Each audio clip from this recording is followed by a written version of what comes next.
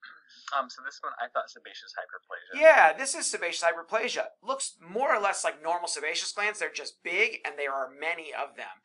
And every once in a while, I have a hard time telling apart sebaceous hyperplasia from sebaceous adenoma. Both are benign, but sebaceous hyperplasia is a normal finding in older adults and and middle-aged adults too. And um, and uh, sebaceous adenoma, of course, sometimes is associated with Muir-Torre syndrome, which is you know uh, hereditary non-polyposis colorectal cancer syndrome. So has some internal potential consequences.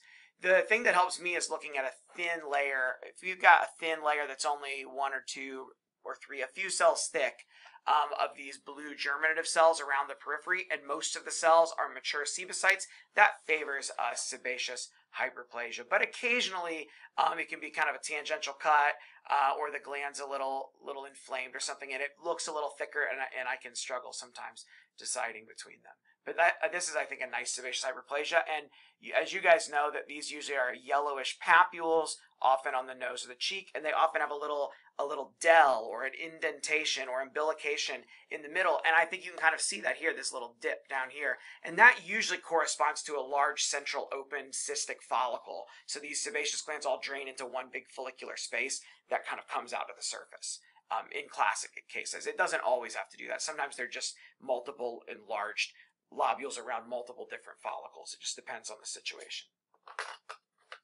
But sebaceous hyperplasia, good.